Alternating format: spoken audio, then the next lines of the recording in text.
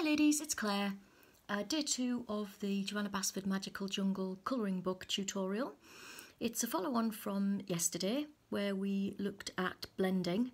I've zoomed in a little bit closer today because I want you to see some finer detail but you can see just here from yesterday where we we blended the yellow to red colours and also we did some further up the page which you won't see on the video because it zoomed in too much um, of the, the purple to, to lilac-y pink flowers. So what I want to do today is show you how to produce this wet look effect on the leaves. And basically why I've zoomed in so much um, is because you will now be able to see some um, patterns on the actual leaves themselves which create that light effect. And that's achieved with a blender pencil. But I need you to have a really close-up look to be able to see how I do that. So I've got, you'll see the pencils on the page, I've got uh, four colours plus my Prismacolor colourless blender. I've got, um, starting from right to left, again I've arranged them in shade and colour from light to dark. I've got grey green light, I've got pale sage, sap green light and a lovely deep cobalt turquoise colour. And what we're going to do is, instead of starting with the darker colour like we did yesterday, we're actually going to start in the middle this time. And we're going to start with the, the lightest colour, which is the grey-green light. Okay, so I'll take these off the page. Okay. So what I'll do is, I'll show you um, how to do this side, because I think if I showed you how to do the, the whole leaf, it would be a bit repetitive and probably too long a video but you'll get the idea if I if I show you this left hand side and you'll be able to repeat it on the right. So what I'm going to do is I'm just going to start, as I say, I've got the grey green light pencil and I'm just going to start by pressing quite hard and following the pattern of the leaves segments I'm just going to draw an inner circle there. Now this is a very very light colour but hopefully you might just be able to about to see it and if you can't you can see where my pencil is actually touching the page. Now it's not like yesterday, we're not going to leave a lighter shade around the outside this time. I'm actually pressing quite hard to make that inner colour and I'm going to do the same on this leaf segment again following the pattern of the leaf segment itself and you can hear I'm pressing quite hard on that. And then again on this one. And you don't have to be too accurate in your shape. It just needs to kind of vaguely follow the, the outline of the segment because you'll see as we go on that you'll be you'll be covering quite a lot of this but it just adds that um, light effect when you get to the end. For this larger segment again I'm going to follow the pattern of the segment in what looks like a triangle shape. Okay, so far so easy. Right, what I'm going to do now is I'm going to take my next um, deeper colour, which is pale sage, and I'm going to use a technique called scumbling. And what that is, is you hold the pencil and you make tiny swirls with it. So it's almost kind of like, well, I'll I have, a, have I got a bit of test paper that you'll be able to see? I haven't actually, not that's being video shot, but let's give it a go. So you, will see what I mean as I go along. So I've got the, the slightly deeper shade. I'm going to start on the bottom segment. And again, I'm, I'm going to press quite hard. I'm actually just going to go around the edge of that light colour in tiny little circles. And as I say, it's called scumbling. And you'll see why it works so well by the time we've finished. So there you go, and now you'll probably be able to see better on the white page that, that inside of lighter colour because the darker highlights it up a little bit. I'm going to do the same on these leaves.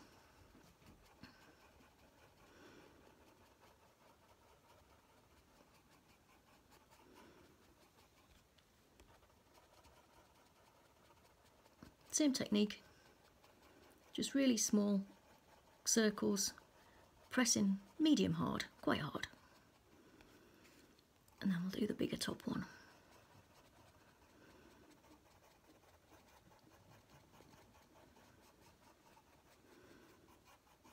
There we go. Now what I'm going to do is I'm going to take the third deepest shade which is a really nice colour. It's sap green light. And I'm going to do exactly the same around the edge of the scumbling of the mid green colour. So I'm going to, again, I'm going to scumble. I'm just going to go around, and it doesn't matter if you touch the edge of the leaf segment. You'll see why in a minute when we actually do the deeper highlights. So I'm just going to scumble around the edges again.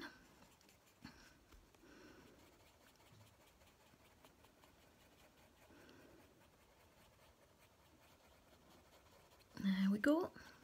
It's a really easy technique to use and as I say it's quite effective in producing the effect that I want once you take the blender pencil across the top of it. So last one.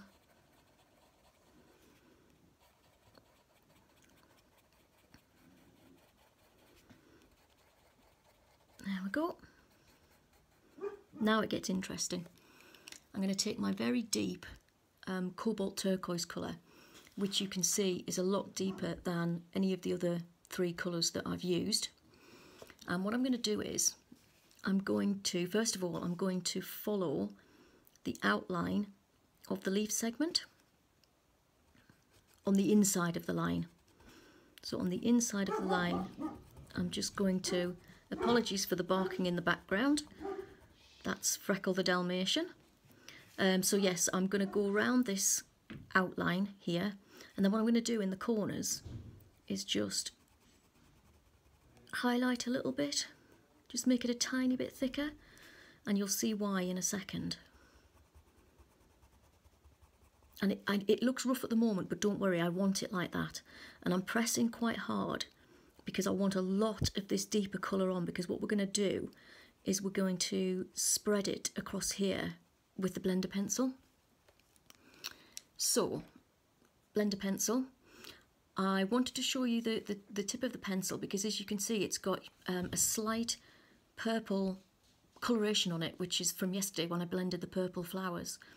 Um, if you put this straight onto the green you'd get purple onto the green the green colouring so what I'm going to do is I've just got a little blue cloth here and I'm just going to wipe the end of that pencil it's clean now so you won't get any discoloration on this, this new set of colours.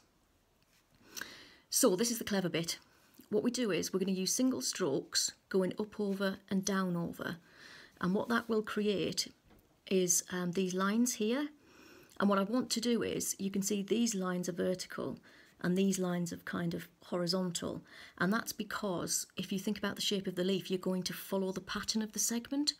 So it makes it look more 3D, it makes it look more realistic. So I'm gonna I'm gonna take my, my blender pencil and just go like that. And you can see instantly that it's taken that deeper colour through the light.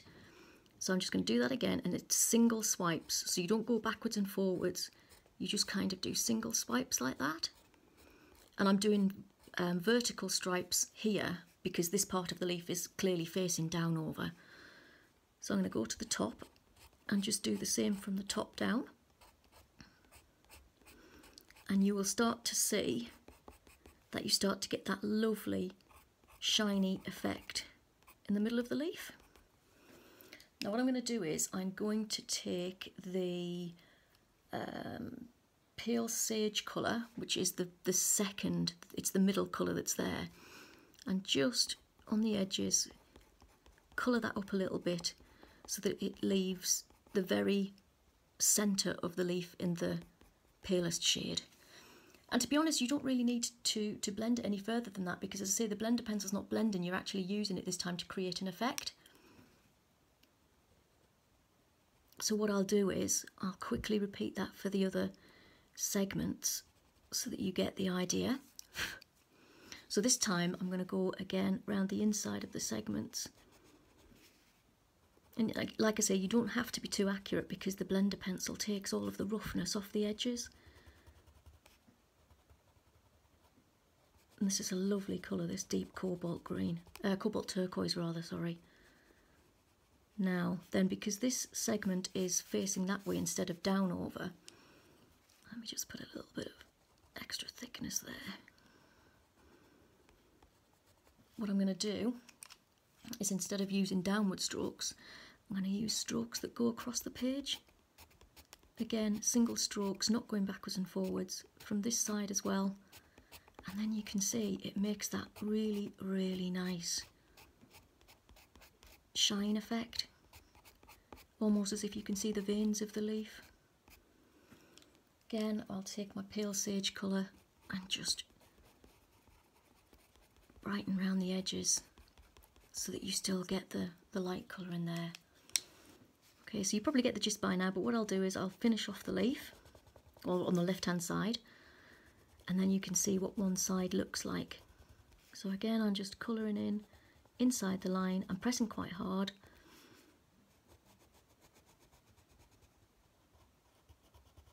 Just going to follow that line round, make it a little bit wider in the corners.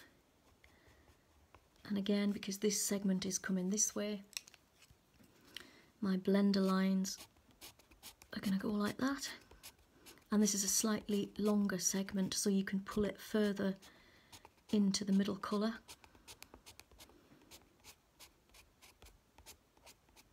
And you can do this as much as you like depending on, on how big an area you want to make the leaf look shiny. So if you only wanted like a tiny piece of, of, of shine in the middle you can um, use more of the, the, the middle green colours um, and have less of the the deeper cobalt colour, but I like the cobalt colour, so I use I use quite a lot of it. Now then, this last segment's going to be slightly different. In the same way that this leaf segment goes down over, this kind of goes up over and, and out over at the same time. So you can see on here that I've kind of curved it a little bit. So I'll show you how to get that. So again, last time we're going to quickly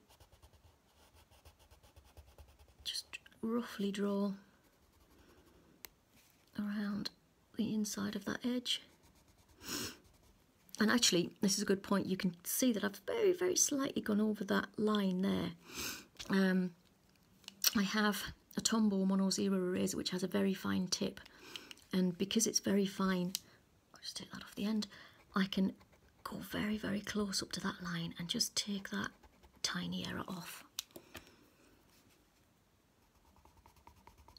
That's by far the probably smallest mistake I've made. I've dropped some proper clangers, but never mind, hopefully not on this one. Um, right, so I'm just going to quickly do this line here.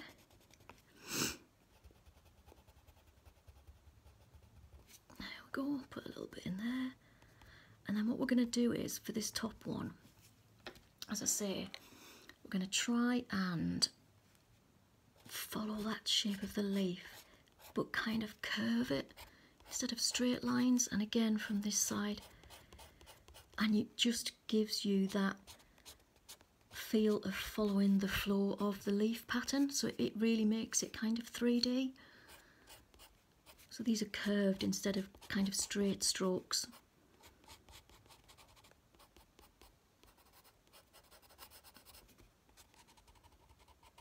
And again I'm just gonna use my pale sage just to go around the edges of that and just make that inside piece shine a little bit more.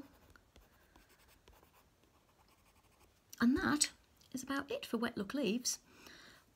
Obviously uh, later I'll colour in this other side and it'll be exactly the same principle, of course in, in reverse, so this segment you would go down, this these two segments would come this way in terms of blending and then the same principle you would just do the curves in the in the mirror reflection opposite way I was going to leave one of these segments blank because the next tutorial I want to do is to show you how to do a rain droplet that's sitting on a leaf but I think because these segments are quite small what I'm going to do is do the raindrop tutorial on one of these larger leaves because it'll be easier for you to, to, to see I think. Okay, um, again if you've got any questions on wet look leaves drop me a line. You, you don't have to stick to, to turquoise. As you can see up here, I've done the same technique on this different shaped flower in uh, pinks. You won't be able to see the pencils because they're off the video page, but again, I'll give you the Prismacolor pencil references. The very inside lightest shade, actually I'll put them into shot for you, is Deco Pink. Then we have the mid pink shade, is just a pure pink colour. And because these segments are smaller, I'm only using three colours instead of four. So my deep colour for, for this family is actually a lovely deep magenta colour. And then what I've done is just to do something a tiny bit different around the edges. So you can see I've used a, a light green here and that is actually um, chartreuse green. I think that's how you pronounce it. Please, anybody who knows better, correct me. Um, and as I say, you can you can use that technique on, on any shape of the leaves. It doesn't have to be anything in particular. So, I hope that's been useful. As I say, the next step will be to kind of hopefully show you some raindrops. Uh, so I hope you join me then. Thanks, ladies. Bye.